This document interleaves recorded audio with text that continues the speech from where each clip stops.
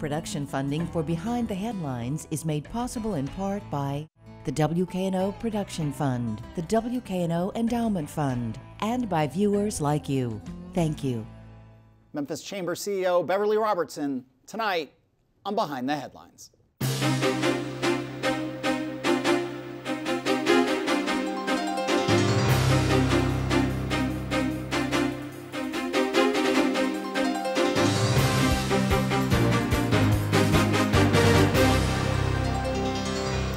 Eric Barnes with the Daily Memphian. Thanks for joining us. I am joined tonight by Beverly Robertson, President CEO of the Greater Memphis Chamber. Thanks for being here. Uh, happy to be here. Along with Bill Dries, reporter with the Daily Memphian.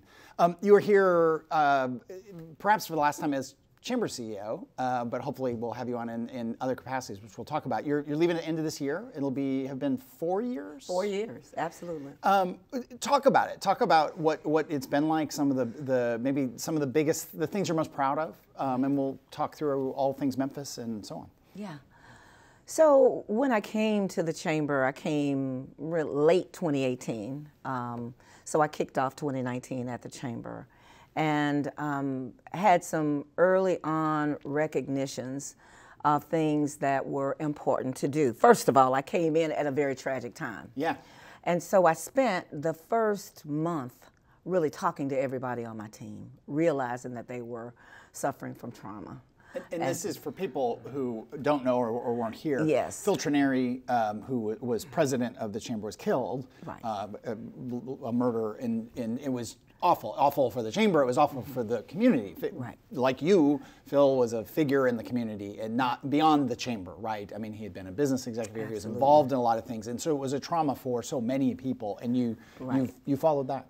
Right, and and so one of the first things I really wanted to do is get a clear understanding of how everybody felt the work of the chamber was defined. In other words, what is the work of the chamber? Because many people in the community don't understand chambers, don't know what they do, and so we captured a way to define it in a very easy way. PEW, economic development, the epicenter of our work attract new investment and higher wage jobs and help existing businesses expand and grow. W, can't do it without a workforce. Got to have a pipeline. And we can't do any of that unless we have a positive business operating environment, which is steeped in public policy. So Pew is the work of the chamber. That's what we do all day long. And everybody got on board with that. Uh, after I got on board, we started having uh, uh, retreats to really get people all on the same page around the goals of the chamber. And then um, we started working on uh, a strategic plan in the organization because we really wanted to define where we were going to go, what were the main areas of focus for the chamber, what were the industries we we're most looking for that are aligned with the assets of the marketplace. And then guess what happened? Pandemic hit the next year. Well, so yeah, yeah. I thought that I was through raising money after I left the National Civil Rights Museum.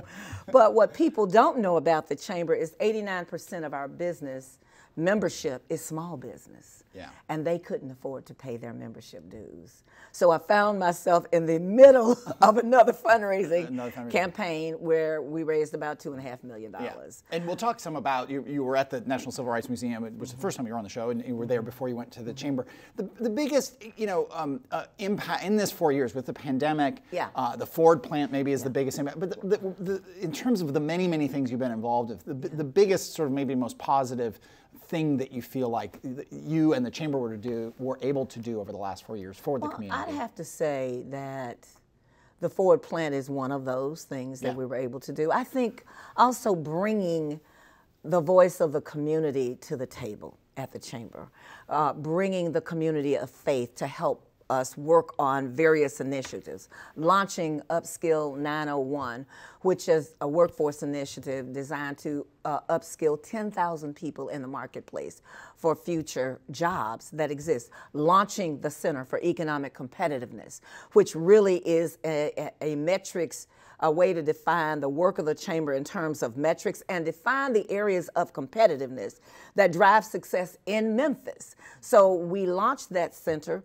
We produced a set of metrics. There's a comparison between Memphis and nine other cities. So we know on you know housing, on job growth, on uh, various aspects, wages, where Memphis sits relative yeah. to nine other competitors. And we will be producing quarterly reports on an ongoing basis to help inform business, yeah. and then they can structure actions based on this data and this research. So, implementing a data based approach to yeah. evaluate and assess the goals of the chamber. Yeah, Bill.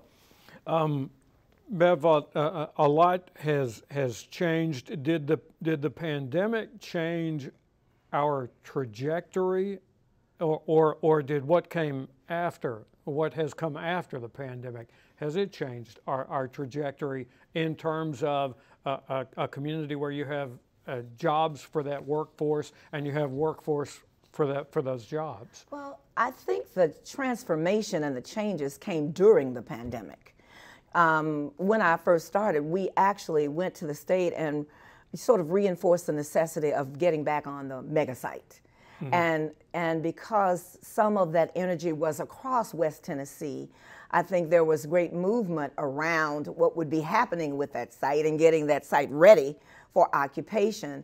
And in comes Ford, and they bring a whole new thought process to the table because really they are really looking for fourth industrial revolution kind of skills, whether that's artificial intelligence, robotics, you know, uh, digitization, all of those things that are the skills for the new workforce that we've got to create. It created both opportunities and also challenges for the marketplace. So we are working every day and we have many sleepless nights because we know that there will not only be about 6,000 jobs available, but we have legacy companies who have invested in this marketplace for many, many years who are afraid that a sizable group of their population uh, of employees might be leaving them. So we can't abandon those companies that have invested in Memphis all these years, you know, just because we have a Ford here. So a lot of this occurred, you know, within the pandemic but a lot of what we're realizing now is the benefits that are accruing because we now have about 50 other projects in our pipeline when we would have had less than half of that uh, if this were.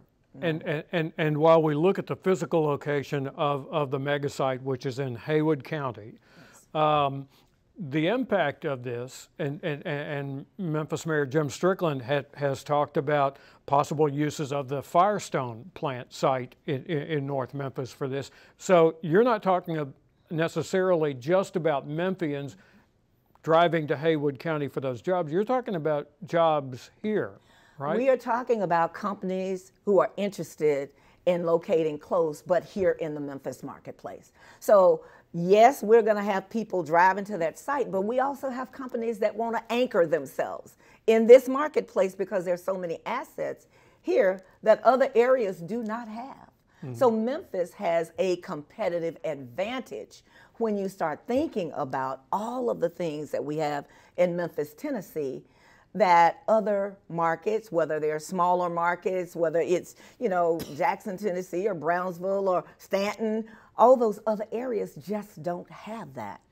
So, so what what do you say to those legacy businesses who are who are still trying to wrap their minds around what this transition involves as as you've got this transition in the workforce going on because those are going to be different kind of jobs at, at the Ford plant as well. What what do you say to those legacy businesses? What I say to those legacy businesses is that the Greater Memphis Chamber is here working for you. And what I mean by that, let me let me just make it plain.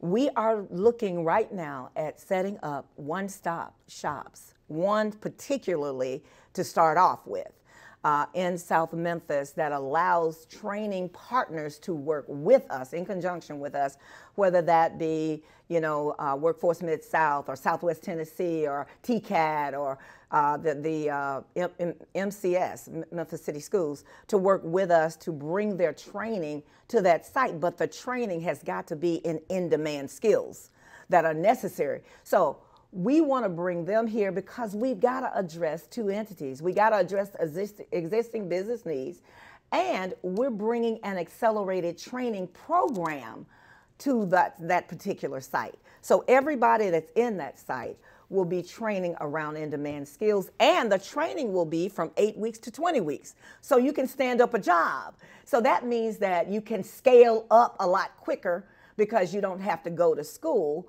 for four years, but you get a certification. And if you have multiple certifications, that qualifies you for five jobs, uh, in demand jobs that will be existing in the companies that exist today as well as at the Ford plant. Mm-hmm. For, um, I don't know if you know. I mean, so we talk, six thousand jobs is the estimate at Ford, and but thousands more at all the the follow-on, you know, suppliers and Yes. all that that will come with it. I mean, I, I've seen Yes. estimates in the what twenty thousand plus jobs just as a result of the Ford thing. How much of that do you think will be real relocation? And and what do you think that does in terms of people coming to town? And what's what's I, I want to stop. I don't want to ask you what's the sales pitch, but I don't know what, how does relocation work, and how does that change the workforce? How does that change Memphis? Well, I think that there probably will be some relocation uh, because they've got to close down some, some places and they've got to put them somewhere. But I think that Ford and Ford not it doesn't really know. Let, let me let me just say the answer to that question is unknown right now Yeah, right. because they don't know. Yeah. But the reality is is that even when new perspectives come to the marketplace, to me that's not a bad thing. Yeah. That's not a bad thing. I think that we learn a lot when we get new energy, new perspectives, new people coming in because they bring new ideas and innovation to the table. Yeah. We just don't want to forget that we've got a base of people here who need jobs, who need to be upskilled, who need to be trained in these in demand skills. So I don't think it's bad. I think oftentimes we may see it as such. But when you've got new energy, new ideas, you've got innovation, you've got people who can work with the existing companies as well, people who have children, who have families, who live in this marketplace, take advantage of our amenities, go to our museums, you know, take advantage of our, our sports, you know, whether that's U of M or the mighty Mi- Memphis Grizzlies. Uh, they want to take advantage of all of what we offer as a city. It- the city also we talked about the, the um, this some of these um, business and economic um, uh, wins. The city obviously has lots of challenges, right? I mean, one of those, and we, it's hard not to talk about crime in part because we were talking about Phil being killed. The country's had a, a, a massive spike in crime. Memphis had a crime problem before the COVID, and our crime problem has gotten worse. And that is, you know, some people for some people that's uh, makes it difficult to relocate here, right? Or it makes people want to leave. I mean, in your four years, is what can the business community do? Not necessarily maybe the chamber, but the business community do, if anything, about crime.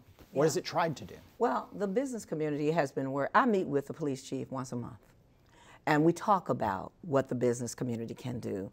Uh, one thing that we have had conversations around is if there is crime in the downtown area, we have a captive audience of companies located downtown, all of whom have security officers.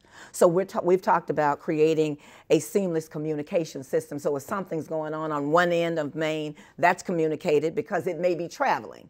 And so we are trying to make sure that there is communication, not just with the police all the time, but also with security officer to security officer so that they can alert people. I think the other thing we do is, is meet regularly with the Downtown Commission to talk to them about things that are going on downtown, whether it's Beale Street or it's cars, you know, doing donuts in the street.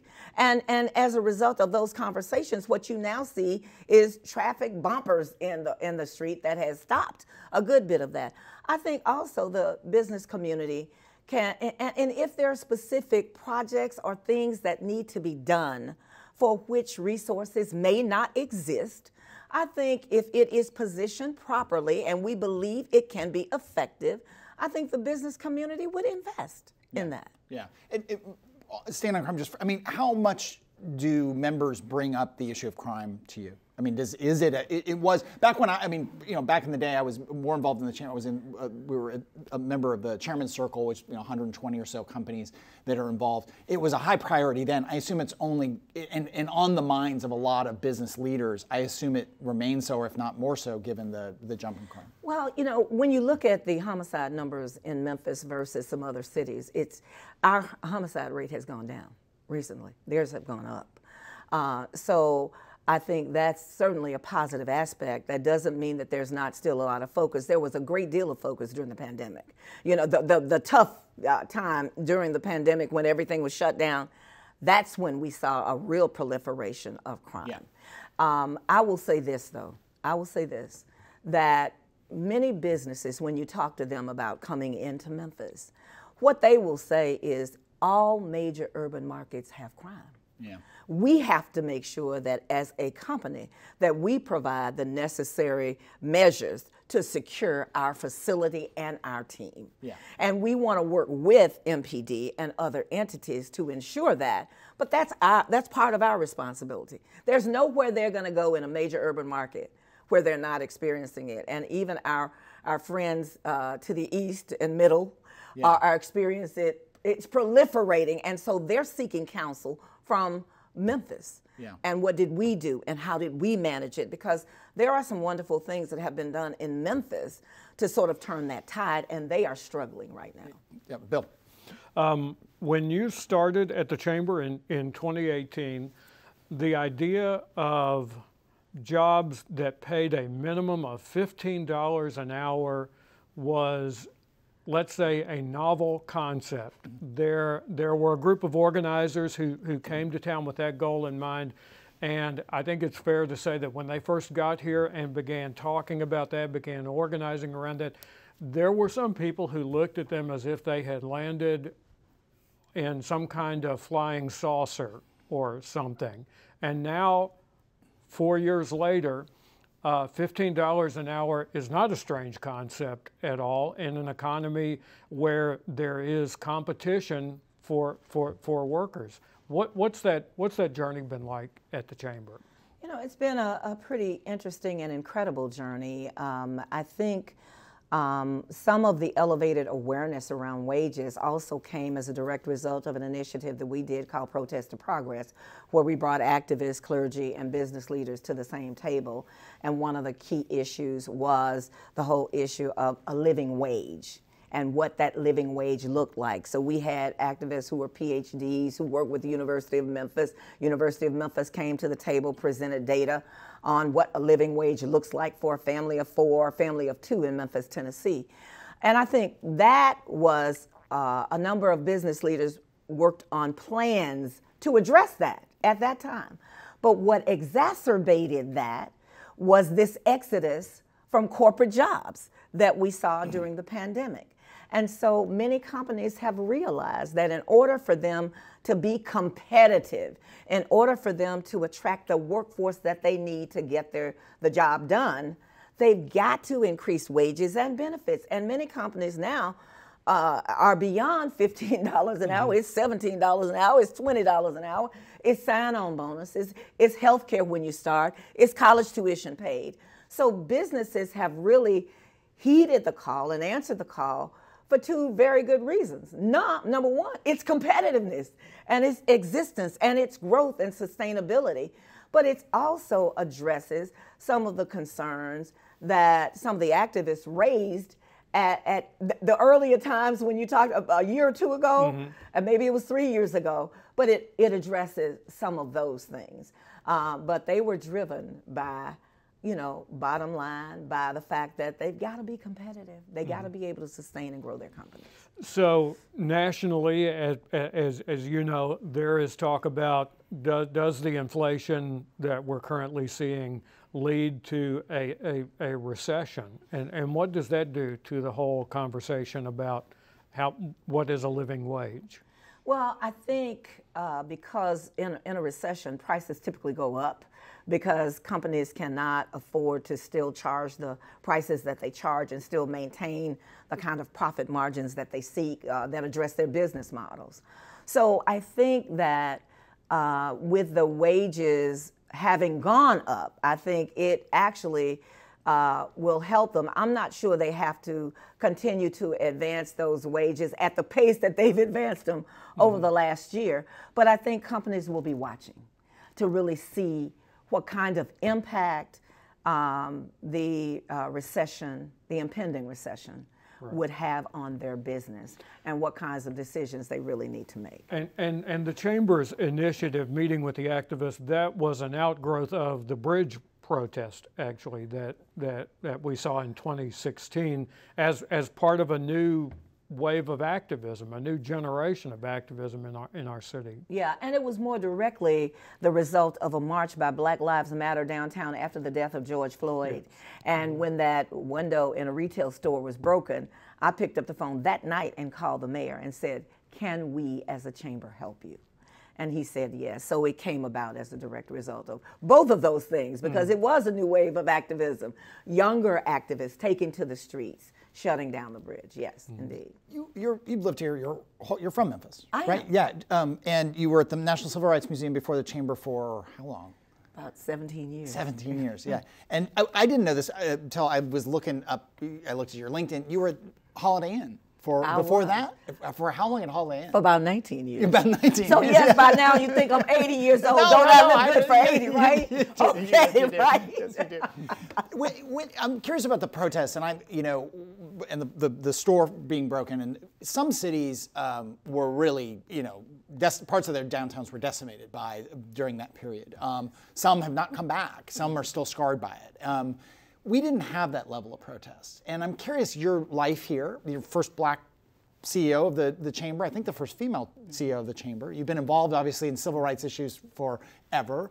Um, what was what is your take that we didn't have the level of mass protest here and the level of, of violence that some cities had? Was that some, I've heard some people say, well, people weren't engaged and they were critical. There should have been more protests and more people in the street. I've heard other people say, we've had this conversation about race in Memphis for a longer time, so we were maybe a little bit farther along in it. What is your take on all that? I think the protest to progress piece was critical at an important time. Uh, because what I realized is that, you know, while some business leaders who looked at that might have thought, well, that's not about economic development, it absolutely is about economic development. You cannot attract a company to a city that's burning or to a city that is in chaos. Memphis has a very strong activist community, always has mm-hmm. had a very strong activist community. And for me, it's really about identifying what the issues really are. And because you had eight or nine activist groups who lead activism here at the table, sitting down talking, advancing their ideas and their action steps for actions that we were to take. And then the chamber with business leaders standing it up, being out in front saying, we want to be accountable, we adopt this as ours, we will execute it, working with community based partners. I think that was Yeah. a huge reason because the people who are more vocal were at the table. And they were saying, I don't really believe anything's going to happen, but I'm going to stay at the table and see. Yeah, yeah. So I think that, you know, it's, it's, we, we had plenty of activists and we had plenty at the table. And so it's not because they were, you know, complacent about acting. It wasn't because we have been talking about it, because we haven't done anything about some of these things, although we talk. So talk is cheap, action is what is, is needed. And so this initiative had action tied to it and accountability. So the first meeting of accountability was six months from we adopt from when we adopted it. The activists came to the table again and the clergy. And you know what they said to us? We never thought anything was going to happen, but now we see. So I think that was a huge, and, and Bill Rhodes says it best. My- AutoZone CEO. Yes. CEO. My buildings burned in other places, were looted in other places, but in my hometown it didn't. And that's because of the work of the chamber. Uh, two minutes, Bill. Let, let's, let's talk a little bit about the Tennessee legislature. Uh, the legislature, uh, talking about a living wage, the Shelby County Commission long ago had passed a living wage ordinance for its contracts uh, that it had that was in effect uh, uh, mooted by the Tennessee legislature.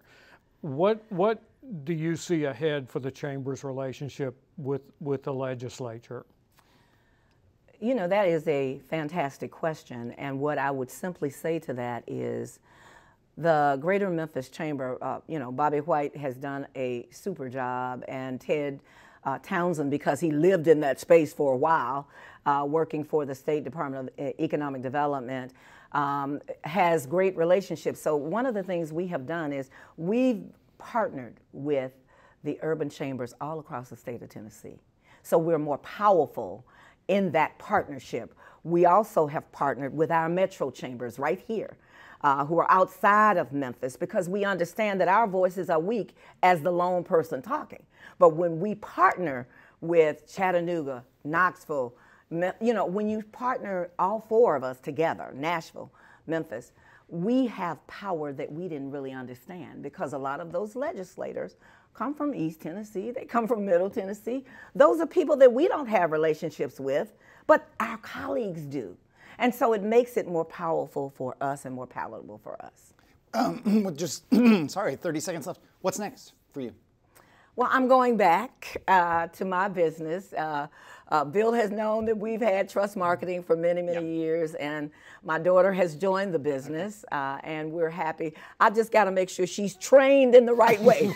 trained right now. We can't leave it to chance. Okay. I got to make sure right. she knows how so, to. So, and then with an unfair question with five seconds left no run for mayor? Your name was thrown about that you were going to run. I'm glad it was thrown out. Okay, okay, all right. And you mentioned Ted Townsend. He's the, your successor at the yes. chamber. We'll have yes. him on soon. Beverly, thanks so much for being here. I hope to have you on again in, in your, some new capacity. Bill, thank you. Thank you for joining us. If you missed any of the show today, you can get the full episode at WKNO.org. You can also download the audio of the show at iTunes, Spotify, the Daily Memphian site, wherever you get your podcasts. Thanks very much, and we'll see you next week. Bye.